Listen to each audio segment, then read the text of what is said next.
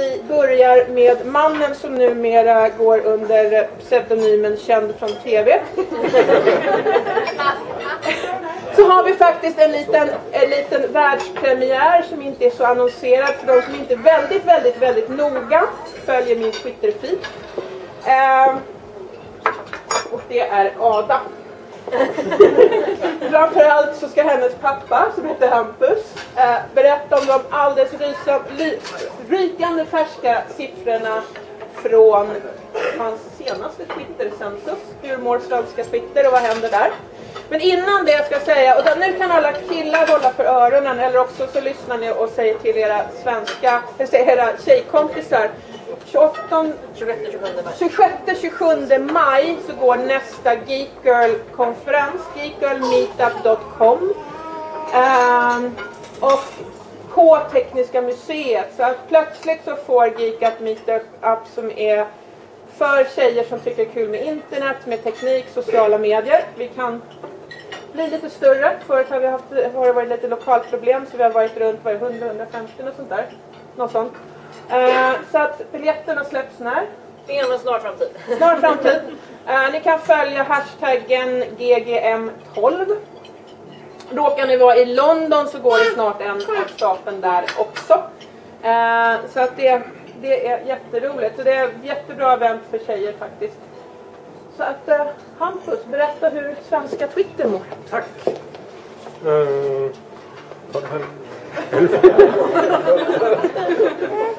vi får se om det här går. Jag ska, jag ska hålla mig jättekort. Uh, Twitter Census är en, uh, en om, väldigt omfattande, mest omfattande genomgång av svenskspråkiga Twitter som går till så att jag traverserar över alla Twitterkonton och eh, gör en språkanalys på vilka som är svenska, eller vilka som är svenskspråkiga. Om jag hittar en svenskspråkig Twitteranvändare, då hämtar jag alla den personen följer och alla som följer den personen. Och så upprepar jag. Och så upprepar jag. Och så gör jag det ett par miljoner gånger. eh, på ett totalt ett hundratals miljoner tweets. Och så får jag ut en datamängd som är hur stort är Twitter i Sverige? jag gjorde det här första gången för ett och ett halvt år sedan. Och då fick vi den första siffran på hur stort tripp det var som då var ungefär 90 000 konton. Vad har hänt sedan dess? Sanningen är att jag har faktiskt inte de färdiga siffrorna, men jag har de färdiga trenderna. Anledningen till det är att jag, jag har inte hämtat hem all data, men jag kan, fort, jag kan fortfarande titta på hur själva trendkurvan när människor registrerar sig ser ut. Och så här såg det ut på nyregistreringar när vi tittade på det för ett och ett halvt år sedan. Eh, då, då, kunde vi titta bakåt på en peak som låg i januari, februari, mars 2009 när Twitter fullkomligt exploderade i Sverige. Eh, och ni som var med på den tiden kände ju att det hände någonting på Twitter då. Och sen låg det ganska lågt till 2010. Men vad hände 2011 och vad hände 2012? Det måste man våga sig på en gissning. Har det ökat? Självklart har det ökat, men har det ökat mer än vad det ökade då? Är egentligen frågan. Så här ser kurvan ut. Uh, och vi pratar alltså nyregistrerade konton per månad. Den ackumulerade kurvan pekar ju norr. Som, uh, tar lite hockeyskaft uh, utseende. Så, så där ser siffrorna ut just nu. Uh, och självklart så har, kommer jag ha jätte, jättemycket data. Um, körningarna pågår klart om en vecka. Sen blir det analys inom en vecka. Och sen presenterar vi slutliga resultat om ungefär en månad. Eller något sånt. Kanske här, kanske någon annanstans. Vi ska försöka få hit det. Vi har inlett en förhandling. Vi har inlett en förhandling. Våra agenter ska prata med varandra. Uh, man kan se realtidsdata på twittercensus.se status.html där man ser liksom, hur köerna förändras man är väldigt nördigt intresserad av det här. Men uh, ja, det var allt jag hade att säga faktiskt. Och uh, håll utkik så kommer det mer. Tack! Och ni som inte följer Ada Brynolf kan ju, kan ju göra det. eh, apropå så tycker jag, apropå Geek Girl Meetup så är ju Ada ett fantastiskt namn för alla som kan sin IT-historia, måste jag ju säga. Eh, nu har vi mannen som är känd från TV. Hur många såg Du är googlad eller har sett den i efterhand? Ja, nästan hälften i alla fall.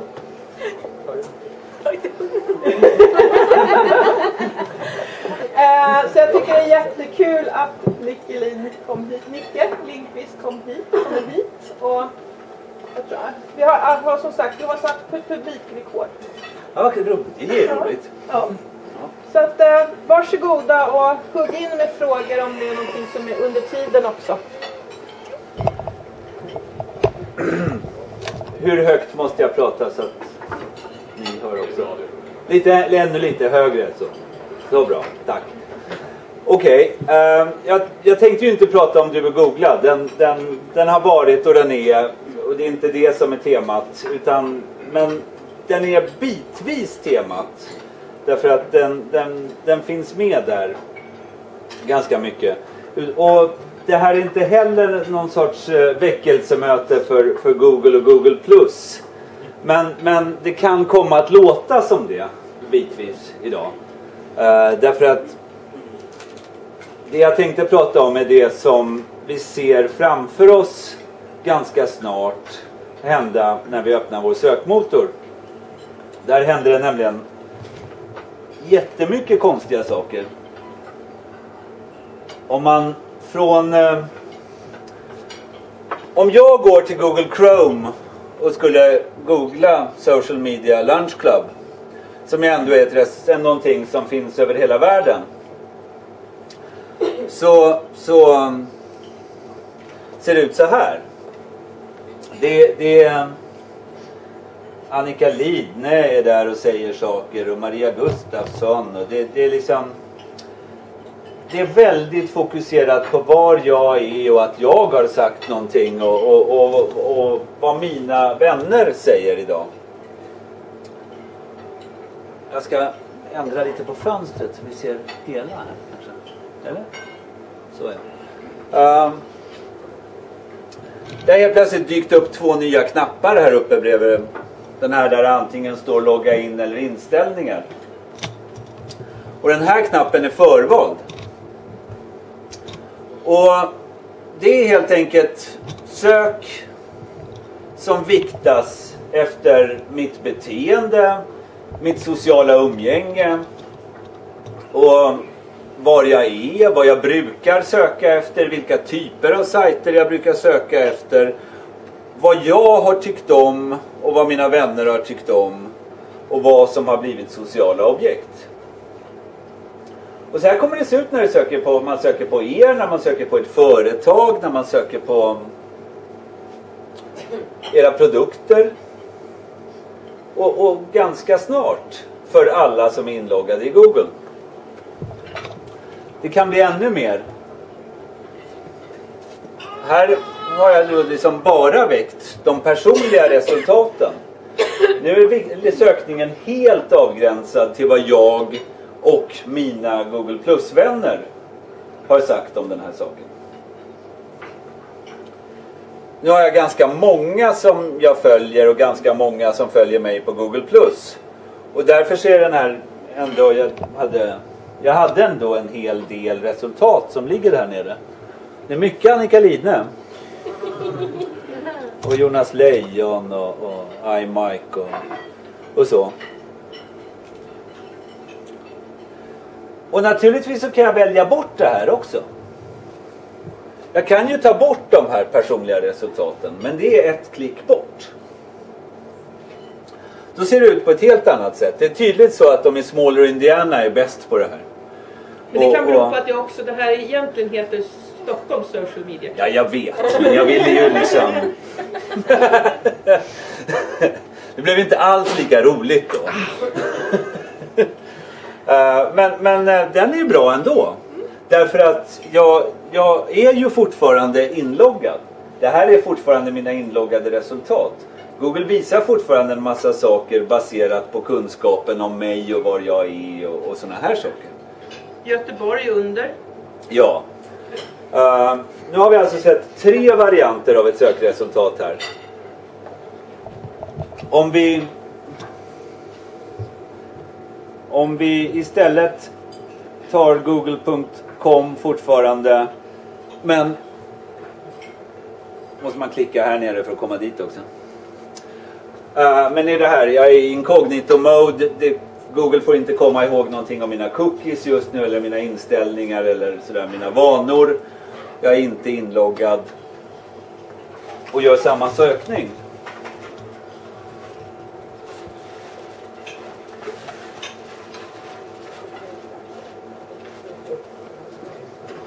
Så är det fortfarande så att Smaller Indiana är bäst.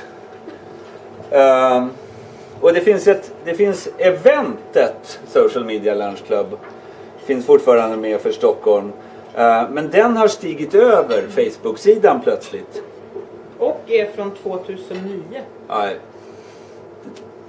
Du var kanske bättre på att anmäla dem då. Men eh, Kina har stigit upp och, och, och Göteborg är helt försvunnet.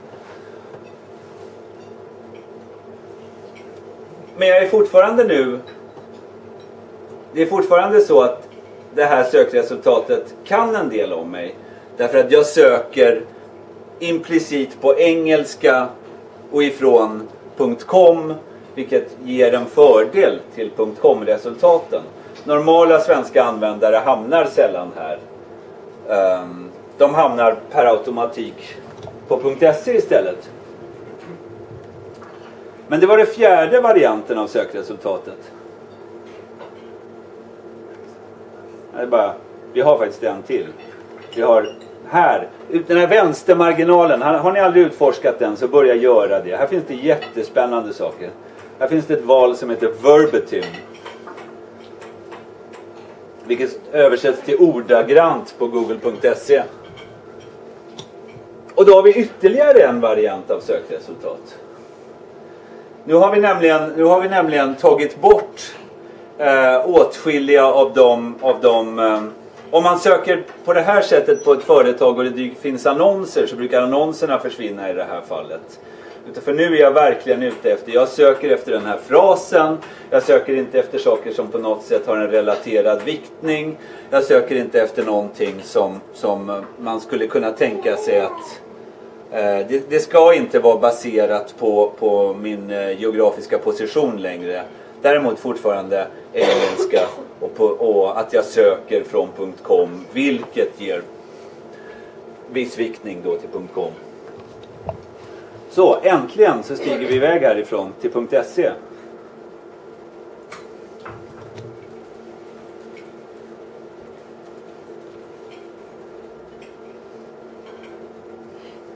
Här såg det ju helt annorlunda ut igen.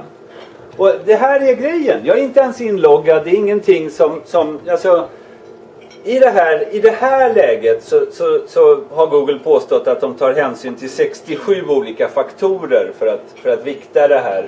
För att göra mig så nöjd som möjligt. Jag vet inte om det är skolstorleken liksom. Men, men det, är, det är min IP-adress, det är var jag påstås vara, det är, det är språk och det är dator och det är webbläsare och det är massa sånt där. Och några av dem tar jag alltså bort med den här festliga ordagranna sökningen. Men just det här resultatet ser ganska likt ut. Nåväl. Hur många hade provat det här verbatim-läget någon gång? Ja, typ mina studenter och några till. uh, det och, och det, det är... Jag menar, det är en sån här fullständigt okänd funktion. Men, men, men vad, vad, så att det är ju ingen som söker på det sättet. De allra flesta de söker ju bara. De är i Google och de tänker inte mer på det. Och de söker på, på nu ska vi ta något där det kommer fungera det här. Uh, vi, tar, vi tar mitt... Och bara för det så gör det inte. Nej, jag visste just det. Just det. Jag, måste, jag måste vara kvar här på uh, kom. Är jag på, Ja, på SE så finns inte det här än, det kommer snart. På .com så, hoppsan! Kolla! Uh, jag söker efter Tickmate och Tickmates Google Plus-sida dyker upp här. Händer än så länge bara på .com och bara i Chrome, för mig i alla fall. Någon annan har fått det i Safari någon gång som jag har stött på. Uh, ett andra resultat som jag har haft svårt att upprepa idag på dagen det är att, att, att här i den organiska listningen så kan de senaste uppdateringarna från Google Plus-kontot börjar dyka upp. Vi har alltså ett, ett, ett där Google har varit socialt förut så har det nu blivit hysteriskt socialt. och de, det, här, det här väcker ju naturligtvis reaktioner. Hos mina kollegor som är sökmotoroptimerare så har det väckt väldigt aggressiva reaktioner till och med. För hur fan ska vi kunna mäta det här? Alla sökresultat ser helt plötsligt helt olika ut. Um, uh, och, och, och, och, så är det ju faktiskt. Uh, det, och, men så har vi också haft det i, i drygt ett år. Vi har, kunnat, vi har rätt länge sett att, att ja, Petter gillade det här och Annika delade det här och det där delades av någon på Friendfeed och blitt blött blött. De viktningarna har vi levt med ett bra tag. Men vi som, vi som försöker då på något sätt mäta resultatet, vi befinner oss ju då alltid i ett utloggat läge och måste utgå ifrån, ifrån inställningen att ingen har någonsin gjort den här sökningen förut. Eller den här personen har aldrig gjort sökningen förut och har inga kompisar som har gjort den heller. Det, och, men, och så är det kanske i någon mening. Samtidigt som det här har börjat hända och det här, det här kommer drabba oss. Jag vet inte riktigt. Drabba oss eller, eller hända för oss. Och, och, och jag tycker att det är rätt häftigt. Om jag söker efter en rörmokare här så jag är rätt nöjd om någon av mina kompisar har rekommenderat en, en rörmokare. Den, den sökträffen kommer vara bättre för mig i det läget än den rörmokare som har varit bäst på sökmotoroptimering. Faktiskt. Um, om den inte har... Ja, ja nej men... Um, uh, samtidigt så har Google jävlats ännu mer med oss. Uh, det, här är, det här är Analytics från, från Linkvist.com och det här är inte dokumentären som har gett den här trafiken. Det är sommartidsomställningen. uh, dokumentären kan, jag vet, lite dokumentär men det är mest sommartid. Uh, det, det har liksom... Jag, jag ligger etta eller tvåa eller ibland trea på sommartid och vintertid. Och, och det ger såna här... Det ger läskiga trafiktoppar. Och det, det ser vi här utanför då på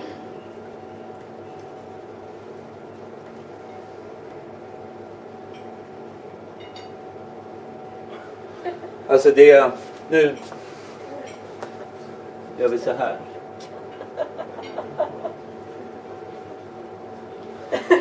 Ja, det är sommartid, ställa om klockan. När ställer man om klockan? Ställa fram klockan. Ja, alltså, vidare koppla telefon är alltid populärt också. Men när ställer man om klockan till sommartid? När ändrar man till sommartid? När blir det sommartid och ändrar klockan? Och det, jag, jag, tror att om man räknar sommartid eller klockan så, så är det uppåt tusen variationer på de här sökningarna som, som har hänt här. Men så mitt i alltihopa så ser vi den här sökningen. Not provided. Just det. Folk som är inloggade i Google. eh, när de klickar så vet vi inte längre hur, hur många av, vad har de sökt på? Och det här är nästa grej som har gjort mina kollegor i sökmotoroptimerarna riktigt rosenrasande. För hur ska vi kunna spåra? Och jag tycker att det är sjukt spännande det här istället. För det här visar ju att... Jaha, vi får zooma lite mer igen. Förlåt Annika att jag bara hoppar omkring och du får inte att filma mig. Men, men 10,40 av mina besökare under den senaste... 10,40 procent av mina besökare har varit inloggade i Google. När de sökte och hittade min sida. Och det tycker jag är ett fruktansvärt spännande värde. Det här är väldigt olika för olika sajter. Jag har, jag har några sajter som har bara 1% inloggade sökningar och jag har några som, som, som ligger på uppåt 20%. Och i någon mening så måste ju det här betyda att, att sajterna med, med, med högre procent inloggade sökbesökare har lyckats lite bättre socialt. pratas lite mer om har, har, har blivit lite mer spridda än de här sajterna som, som, som bara har en procent. Eller så har de väldigt olika målgrupper. De sajter som har uppåt en, en alltså där målgruppen är, är åldrade turister. Så, de har inte så mycket sociala besökare. Uh, de med, med, en yngre målgrupp lyckas betydligt bättre. Uh, men dessutom så är det ju faktiskt så att, att det är inte alls omöjligt att veta vad de här 10 procenten besökare, faktiskt 10 472 besök, har sökt efter. Jag vet det för jag ser det på bounce raten här. Men, men, eh, men det, får vi faktiskt, kan vi faktiskt tämja Analytics och ta ut. Vi kan titta på landningssida. Gissa vilken som är...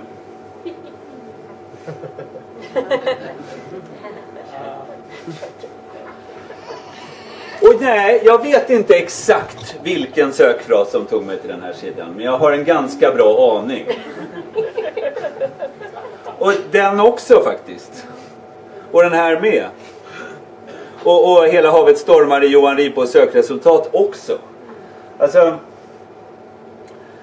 Vi, vi, kan, vi kan extrapolera informationen och vi kan ta ut det bakvägen.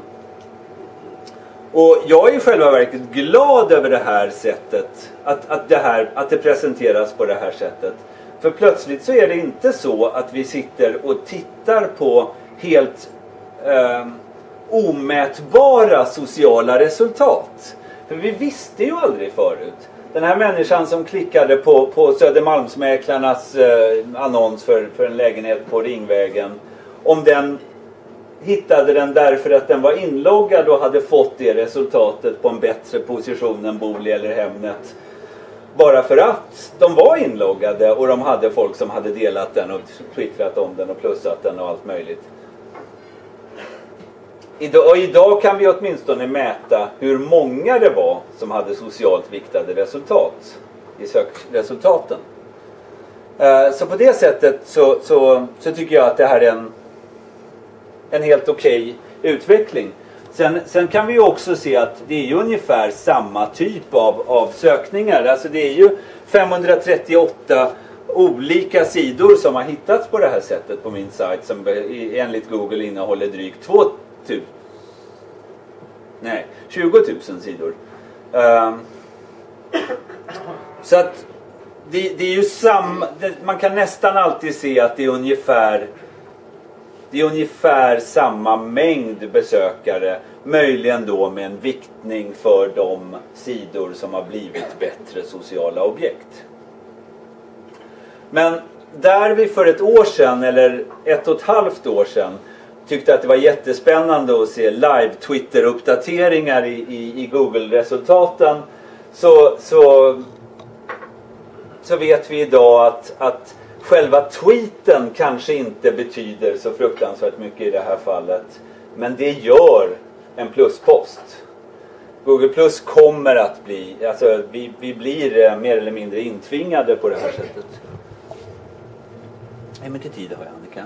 Nu är det på 24, vi 24 minuter totalt så du kan nog prata på. Bra. Vill vi höra mer? Ja! Det, hur, hur många er har ett Google Plus-konto som ni använder? Ja, ja, men någon sorts hälften lite sådär kanske. Liksom. Um, jag, jag använder mitt, inte som jag använder Twitter. Twitter är, är småpratet, de ilskna diskussionerna, utbrotten. Allt ifrån yrkesmässigt till fan jag somnade i badkaret och till liksom, ut utan hundpåsar. Eh, brett, kort, eh, socialt pratande, svarande och sådär. Eh, för mig så har, har, Google Plus blivit mycket mer ett ställe att, att starta en tråd, att försöka starta en riktig diskussion kring någonting. Eller vara med i riktiga diskussioner om saker. För i, hos mig så är det så att, att eh, posterna snittar på på, på någonstans mellan 5 och 10 reaktioner varje sån Google Google Plus-postning. Um, då har jag i och för sig då byggt mig ett eget flöde av det. Och jag tänkte bara visa för jag tycker det är lite... Internicke.se, Det är faktiskt fel sajt. Den ägs av domain, någon domänpirat. Jag brukar visa sån här fettsugning. Det tycker jag, jag tycker det är jävligt elakt av fettsugning. Det är- På vita tänder.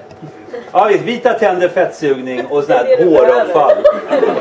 Liksom. Men, men, eh, men Nikelin.se. Den här, det, har, det här har blivit jättekul. Det här är en, det här är en blogg. Det är min, min eh, kortblogg. Det är min blogg där jag inte skriver de långa, de långa genomtänkta inläggen. De där som tar två dagar att skriva. Som man, som man alltid publicerar vid fel tidpunkt på dygnet för att man äntligen är klar med dem kvart, kvart över två på natten. Utan det här är faktiskt de, de kortare, roligare sakerna. Och jag skriver inte dem här. Utan jag skriver dem på Google+. Plus. Eh, så den här Den här rackaren då. En, en, en snabb reklam för det här eventet. Eh, kom ursprungligen ifrån den här plustråden. Så jag, skri, jag skriver på Google Plus. Jag använder ett, ett Wordpress-plugin som heter Google Plus blogg. Som, som drar det till Wordpress. Från Wordpress åker det till Twitter. Eh, och då har det ju faktiskt blivit på riktigt socialt. Och folk åt, hamnar, det är väldigt få som kommenterar på bloggen. De allra flesta hamnar tillbaks på Google Plus och fortsätter diskussionen där. Men även kommentarerna sugs in och lägger sig på bloggen. Uh, det är ett fantastiskt sätt att faktiskt strömma ut de här sakerna. Jag tror du får berätta kort hur man gör det där för jag tror att det är fler som är intresserade. Ja, det, är, det är bara ett plugin. Det, alltså det kostar någonting. Det är lite gratisversionen länkar till han utvecklaren. Men, men eh, man... man Wordpress alltså. nej, utve, det är Ja, men det är- en Wordpress. Det är en Wordpress plugin, det är en Wordpress-sajt och det är ett plugin som, som, eh, som helt enkelt eh, använder sig av Googles API för Google+. Och en gång i halvtimmen så ropar den på Google Plus och frågar om det har kommit några nya poster eller några uppdaterade poster. Och sen så hämtar de dem med alla kommentarer och bygger om det till en bloggpost med massa kommentarer. Så man får städa, man får städa sina revisions väldigt mycket. Det brukar bli 14 000 på några dagar. Uh, så, men, men, men det blir en det blir en fantastiskt, ett fantastiskt roligt sätt att faktiskt mer än någonsin hämta ut sitt data ur en social plattform. Om jag jämför det med Facebook där jag, jag har aldrig varit särskilt bra på Facebook. Eh, därför att Facebook är en plattform dit jag kan hämta in data. Men jag kan aldrig hämta ut det på samma sätt. Och det är den stora skillnaden att Google Plus har blivit ett ställe dit jag inte kan hämta in någonting automatiskt egentligen utan att verkligen bryta och bända på saker och ting. Men, men jag kan lyfta ut precis allt mitt innehåll när jag vill. Jag har en fråga här. Ja, vad sa du? Kan man få tillbaks kommentarerna från bloggen tillbaks? Nej, eftersom det inte går att flöda Google Plus med något så funkar det tyvärr inte. Eh, utan de lever sitt eget separata liv här. Men ibland så uppstår det ju kommentarstrådar av dem också. Men, men, eh, men en skitcool funktion. Som naturligtvis faktiskt funkar ganska bra i, i, i sökresultaten. Ett exempel på det var är Tina... Ah, jo. fel, fel webbläsare. Uh, Tina Ax som var exemplet från, från, uh, från Du är googlad. Som ändå har blivit en rätt konkurrensutsatt term. Så är det en av mina sådana Google Plus-postningar som har tagit sig ut till bloggen. Och som lever i det sökresultatet. Gud vad härligt det ser ut där ute. Det tokhaglar. Ja, ehm, det var min eh, take på Googles sociala värld. Och den, den strävade ut här i lite felaktiga Wordpress-saker. Men, men var, var, var det något som var oklart helt och hållet? Eller spännande?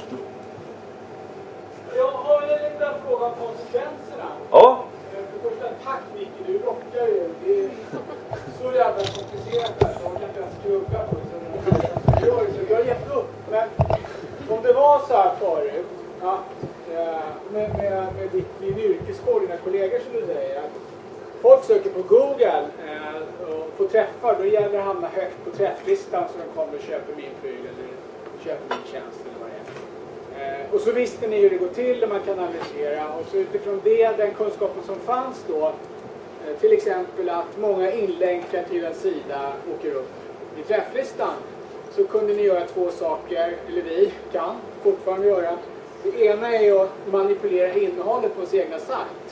Exempel, man vet att folk söker på P, eh, medieträning, tror man när man skriver mediaträning. Eh, Förstår ni vad jag menar? Man väljer uttryck efter vad folk söker och hamnar rätt på träfflistan. Och det andra var att sprida sidor då, som länkar in till en sajt är mer eller mindre etiskt rätt för att få upp trafiken. Eh, Så var det, kändes det som.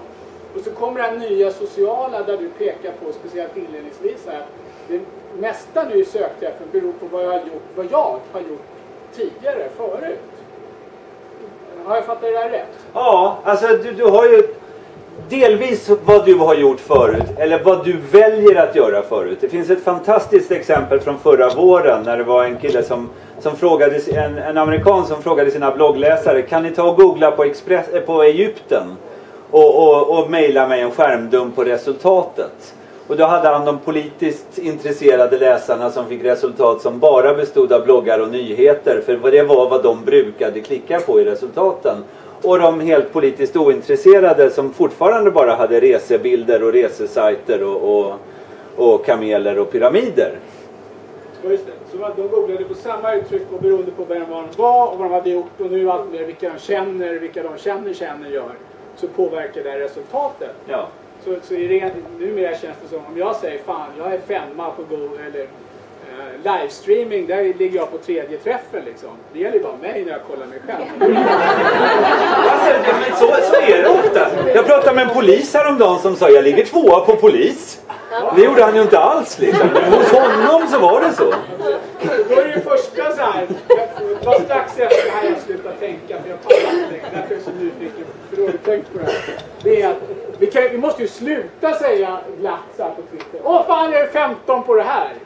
För det är, det är ju inte så länge. Det Alltså det vi, vi är ju det om vi tittar i, då i ett helt oinloggat läge från en webbläsare som aldrig har sökt på det här förut. Det vill säga med nollad statistik, nollade cookies och, liksom, och en nyligen återställd Safari till exempel. Då kan vi fortfarande säga det. Men det är inte säkert att du får samma resultat som den som googlar från Göteborg. Och sen så sa du lite politiskt korrekt att man blir mer eller mindre intvingad i att börja använda Google. Ja, ja, men det blir vi. Det, Det det, kan ändras, men eh, det var en jävla lång utläggning för att komma fram till den här svåra funderingen, eller frågan jag har. Så vad gör man nu då? Alltså för att påverka resultaten i någon önskvärd riktning. Det hjälper inte att jag skruvar så mycket. Ska jag börja liksom få dig att göra precis det du behöver göra? För, alltså, Ja men i någon mening så tror jag att det är precis det som vi som är här är ganska bra på. Som är det som gäller. Alltså det gäller fortfarande. Jag menar om du som person eller om du är företag eller vad du är. Om du förut var omtalad, ombloggad, omtwittrad och liksom, det pratades om dig, ditt företag, dina tjänster och dina produkter. Så hade du en stor fördel av det för du vann länkar. Det har du fortfarande för de där länkarna och det där pratandet. Och att, att, att, det, att det inte är någonting som bara pågår i ett litet mörkt avskrädshörn någonstans av internet. Uh, det, det har fortfarande en fördel men nu har du dessutom fördelen av de, de sociala resultaten. Jag har en fråga. Ja, och Är det, där sen. ja, är det bara mina Google Plus-kompisar som spelar roll? Eller spelar det roll med vilka jag föl- alltså, som följer mig eller som jag följer på Twitter, på Facebook, på Foursquare, på Instagram och så vidare? I de här plus, personliga plusresultaten, där är det bara Google Plus som spelar någon roll. Men i den andra sociala viktningen så finns fortfarande de andra resultaten med. Den här har bloggats om av den eller har, har. Så att det finns fortfarande en viktning mellan. Men i de här rent personliga resultaten så är det Google Plus. Ja, Ja. Jag vill bara fråga. Jag har hört talas om att i USA att, att ja, i, i kom-versionen av Google helt enkelt att, att Google vet om, eller har en antagan om att om du är kvinna eller man beroende på vad du har surfat på. Och att på någonstans, någon, i någon inställning så kan du se liksom, vad Google har för åsikt om dig. Det, ofta har det visat sig inte stämma då. Okej. Att man liksom, kvinnor är män och så. Ja men det är ju Undrar om det din... kommer till Sverige också? Ja men alltså du har ju din Google Dashboard. Mm.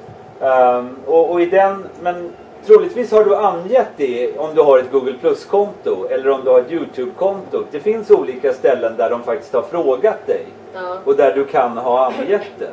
Men i det här fallet var det bara beteendedata så att säga. Okej. Var du hade varit, vad du hade klickat på och så vidare. Och det rankades som manligt eller kvinnligt då, liksom beroende på hur andra gjorde.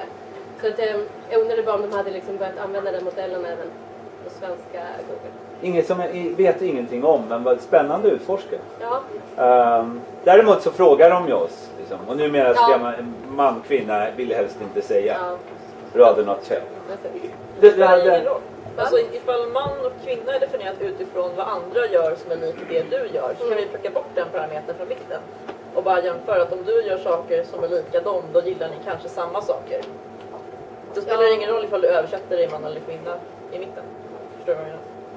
Ja, det som kan bli tråkigt är att man får en annan typ av annonsering till exempel. Som man kan känna... ja, men min fru får mycket roligare annonser än jag. Får hon det? Ja, faktiskt. Och mina barn också. Men det, alltså, jag, jag får ju fortfarande bara ge det där Ja, jävla det Facebook-annonserna. Ja, jag, någon, Mi- Micke och sen Kristoffer. Alltså det, fin det finns ju massa kanaler man kan, man kan söka på man är inloggad på Google. Typ Google Plus, Youtube med mera. Påverkar det mitt vanliga sökresultat också? Ja, det, alltså vad jag har förstått. Jag har inte kunnat se något... något ehm, alltså Google Plus-sökningarna är fortfarande sjukt konstiga. Alltså det, de är ju... Det är ju inte vanliga Google-söket du har där på något sätt. liksom. Men går de liksom ihop? Kollar de liksom att han sökte på det här där, då kommer jag att prioritera dig på hans vanliga Google också då? eller? Ingen aning, men jag skulle göra det om jag var Google. alltså, eftersom det är ett sök. Och, en, och ett användarkonto. Ja. Kristoffer är ni. Nu, jag tror att du använder Chrome ganska mycket i dina exempel. Alltså, får du exakt samma resultat, samma beteende från Firefox och Safari? Inte än så länge. De här sakerna syns mest i Chrome faktiskt. Alltså, eh, jag har inte lyckats få upp de här sidogrejerna i Safari eller i Firefox än så länge. Andra har fått det men inte jag. Och det är att där är... Du har fått Internet Explorer? Ja. Alltså så det, det är lite sådär att det testas ju fortfarande. Och de, alltså Google testar ju om loggan ska vara en pixel längre till höger eller om sökknappen ska sluta tona där. Så att det här testar de säkert otroligt mycket på oss i det här läget. Jag tror att det är rätt många som är intresserade att om vi nu har ett företag som vi vill att ska hålla, alltså, ranka högt när folk söker på det. Vad gör vi då med de här? Förutom att skapa en företagssida på Google+. Jag börjar använda den också. det är, faktiskt liksom. Det är... Pontus? Frågan är, är det här smart av Google att göra så eller inte? Jag funderar på, eh, när Google kom så var det en sökruta och sen sökte man och så fick man bra träffar. Eh, öppnar inte upp det här för en konkurrent, en annan sökmotor som gör det som Google gjorde mot AltaVista en gång i tiden? Absolut. Jag, jag, Blecko och eh, DuckDuckGo. Ja, ja men liknande. Alltså, jag, jag tittar jättemycket på DuckDuckGo som visserligen är rätt lättspammad men, men, eh, men är lite, lite av sådär liksom kvaliteten av Google-resultat från 2005. Sådär. Mm. det, och, och, och, och är du researcher så är ju det här helt kass. Du vill ju hitta information som folk inte hittar lätt. Va? Eh, och det, så att ja, i, i någon mening. Men jag, alltså de... Och och jag, jag är inte alls säker på att de helt och hållet går rätt väg med det här. Det kan mycket, men, men det gör de ju fullt ut. Allt vi gör håller på att bli en smak av Google Plus istället för att vara Google Plus är en sak som finns på Google. Jag menar, nu har vi plusfunktioner i, i Docs Vi, vi har dem överallt. Vi kan prata med varandra i alla de här olika tjänsterna. Och det, Vet man någonting om till exempel Youtube-videos rankar högre nu än vad de än att posta på Vimeo och så vidare? Ja, nej, men det har de väl nästan alltid gjort. Va? Men, men du, det finns sökresultat där, där man liksom ser att, att mitt favorit har jag just lärt mig. Det är ett fantastiskt kamelskötare. Har ni googlat på den? jag har lärt mig det av Charlotte. Det är, nästan, det är liksom nästan bara såna här. Uh, och det är Youtube, TV4 Play, Expressen, TV4 Play, SVT Play. Så att det, det finns ju en spridning där va. Uh, fantastisk historia som Charlotte får berätta för en någon gång istället. Ja, Jo, jag och Karin, vi eh, satt här och pratade om just... Högre Karin! Jaha. Hej! Jag och Karin, jag pratar inte med mig själv då utan jag pratar med Karin Ja. Bäcklund. Eh, och eh, då så, så pratar vi om att hur blir källkritiken just det här att man läser bara sina vänners plus ett artiklar? Att jag läser, eller du läser bara Annika uppenbarligen då eftersom att du... Eh, På det här, ja men förstår du problemet? Att det blir liksom i ett större perspektiv. Hur... Alltså det är mer en kommentar. Vad... ja men definitivt. Och det här är ju någonting som man, som man måste fråga sig. Och det är ju, men då har vi den här, ta bort de sociala resultaten, är en knapp bort. Jag tror att vi lär oss det beteendet. Jag tror fortfarande att vi, att vi främst uppskattar de sociala resultaten i de flesta fallen. Men jag, jag, jag måste ju erkänna att jag söker ju aldrig överhuvudtaget inloggad i Google. Ehm, därför att det funkar ju inte för mig. Jag kan ju inte gå påstå att en kund ligger på tredje plats när den i själva verket ligger på plats 58. Det... Micke, Mm. det finns ett annat svar. Skaffa dig många vänner. Ja, ja, ja visst, bredda vänskapen. Men, men, men det är ju också så att du, du, du för det är ju inom olika ämnen. Det är ju inte bara Annika. Annikas poster ser jag inte alls när jag söker på, på ledarskapsutbildning. Utan då är det eh, Mimmi Dahlströms poster som syns där jättemycket. Och, och, och liksom, och om, jag, om jag söker på, på, på sökmotoroptimering så hittar jag ju bara mig själv. det, det är inte så kul. Det, så, att, så att naturligtvis så väljer man bort den där grejen. Men, men det, är ju, det finns ju ändå massor med typer av resultat där vi, där vi uppskattar våra vänners åsikter. När kommer en eh, marknad för plus köpare? Alltså, den, den, den har redan funnits. Den fanns första veckan som den vanliga plus ett-knappen kom.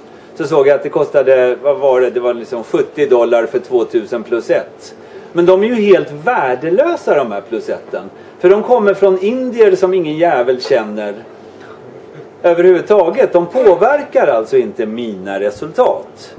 Eller rättare sagt, det är det som är anledningen till att jag har så här 300 indiska följare på Google Plus kanske. Ja. Men, men, men alltså, så deras plusättningar drabbar ju, alltså de, jag ser dem inte eftersom jag inte följer dem tillbaka eftersom jag inte förstår vad de skriver om. Och du ser dem inte även om du följer mig på Google+.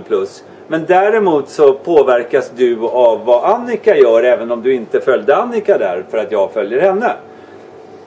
Men, men ja, sen fortsätter ju det här. Vi vet, ni vet sökförslagsrutan. Liksom, där att Google ger oss förslag på vad vi kanske vill söka efter. Uh, den är jag helt övertygad om också påverkas av i inloggat läge påverkas de förslagen av vad mina vänner brukar söka på.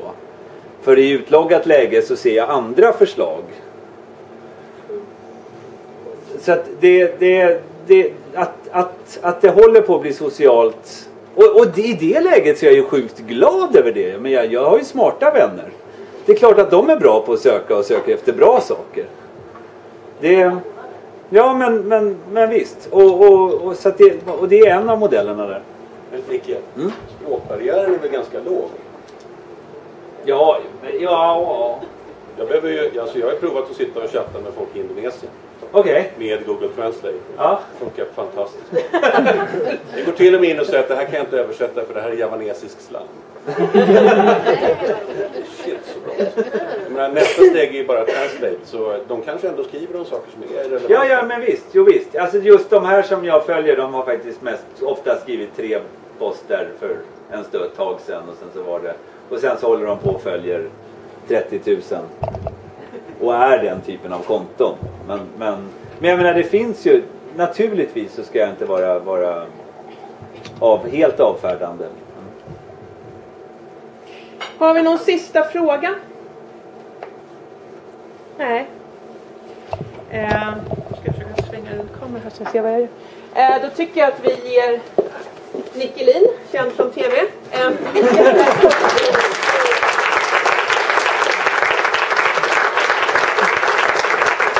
eh, Och sen så hoppas att ni har tyckt det var kul hit.